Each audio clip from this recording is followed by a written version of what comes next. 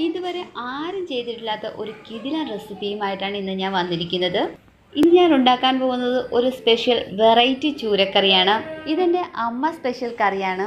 ഇതിൽ മാങ്ങയും കുടമ്പുളിയൊക്കെ ഇട്ട് വെക്കുന്നത് കൊണ്ട് തന്നെ ഒരു വളരെ സ്പെഷ്യൽ ടേസ്റ്റി ആയിട്ടുള്ള ഒരു കറി കൂടിയാണിത്. വളരെ പെട്ടെന്ന് ഉണ്ടാക്കാൻ പറ്റിയ ഒരു കറിയൊന്നുമല്ല. വീട്ടിൽ വലിയ മീനൊക്കെ കിട്ടുമ്പോൾ എല്ലാവരും ഒന്ന് ട്രൈ ചെയ്ത് നോക്കാൻ പറ്റിയ ഒരു കറിയാണ്. അപ്പോൾ നമുക്ക് കറി എങ്ങനെയാണ് ഉണ്ടാക്കുന്നതെന്ന് നോക്കിയാലോ?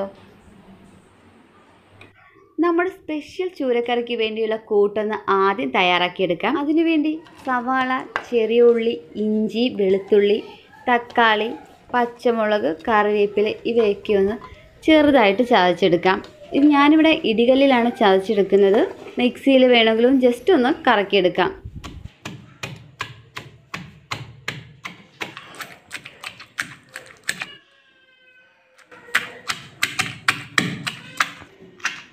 അപ്പോൾ എല്ലാം ചതച്ചെടുത്തിട്ടുണ്ട്. ഇനി വേണ്ടത് നമുക്ക് നന്നായിട്ടൊന്ന് വഴറ്റിയെടുക്കണം അതിനുവേണ്ടി ഞാനിവിടെ എണ്ണ ചൂടാക്കാൻ വെച്ചിട്ടുണ്ട്.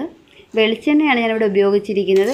ഏത് കുക്കിംഗ് ഓയിൽ വേണമെങ്കിലും ഉപയോഗിക്കാം. ഇനി നമ്മൾ ചതച്ച് വെച്ചിട്ടുള്ള കൂട്ടെല്ലാം ഒന്ന് നന്നായിട്ട് വഴറ്റിയെടുക്കണം നല്ല ഗോൾഡൻ ബ്രൗൺ കളർ ആവുന്നത് വരെ വഴറ്റണം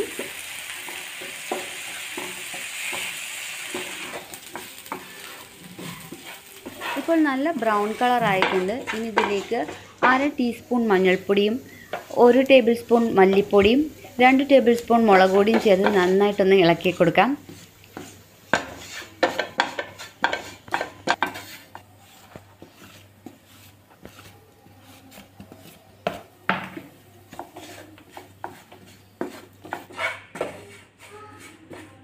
ഇപ്പോൾ നമ്മുടെ പൊടികളൊക്കെ നന്നായി മൂത്ത് വന്നിട്ടുണ്ട്.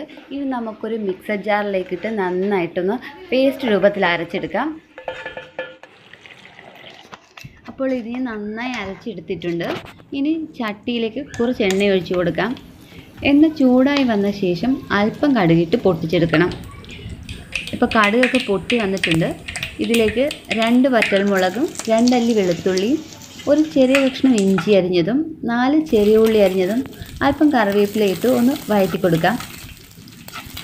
ചെറുതായി ഒന്ന് വയന്ന് വന്ന ശേഷം മൂന്ന് പീസ് ചെറുതായി അരിഞ്ഞ കുടംപുളിയും രണ്ട് പച്ചമുളകും ഒരു പകുതി മാങ്ങ അരിഞ്ഞതും കൂടിയിട്ട് നന്നായി വഴറ്റിയെടുക്കണം.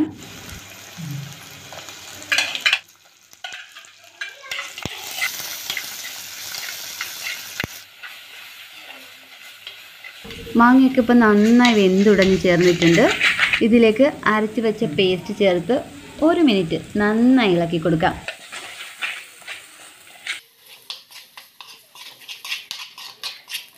നേരത്തെ അരച്ചെടുത്ത ജാറിൽ കുറച്ച് വെള്ളം ഒഴിച്ച് അതും കൂടി ഇതിലേക്ക് ഒഴിച്ച് കൊടുത്ത് നമുക്ക് ആവശ്യത്തിന് ഉപ്പും ചേർത്ത് കൊടുക്കാം.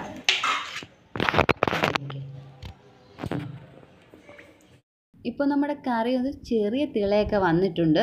ഇതിലേക്കൊരു അര സ്പൂൺ കുരുമുളക് പൊടി കൂടി ചേർത്ത് കൊടുക്കാം. നമ്മുടെ ചൂരമീൻ കഴുകി വൃത്തിയാക്കി വെട്ടി വച്ചിട്ടുണ്ട്. ഇനി നമുക്കത് ഓരോന്നായി ഇതിനകത്ത് ഇട്ട് കൊടുക്കാം.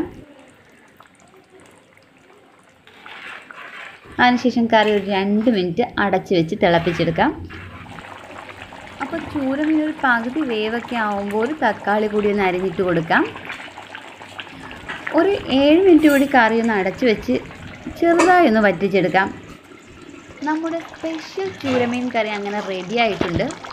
ഒരിക്കലെങ്കിലും എല്ലാവരും ഇതുപോലെ ഒന്ന് വച്ച് നോക്കണം. പായം പിന്നെ വലിയ മീൻ കിട്ടിയാൽ ഇങ്ങനെ മാത്രമേ കറി വയ്ക്കൂ ഈ വീഡിയോ ഇഷ്ടമായാൽ ചാനൽ സബ്സ്ക്രൈബ് ചെയ്യാൻ മറക്കരുത്. നോട്ടിഫിക്കേഷൻ ലഭിക്കുന്നതിനായി ബെല്ലൈക്കൺ കൂടി പ്രസ് ചെയ്യൂ.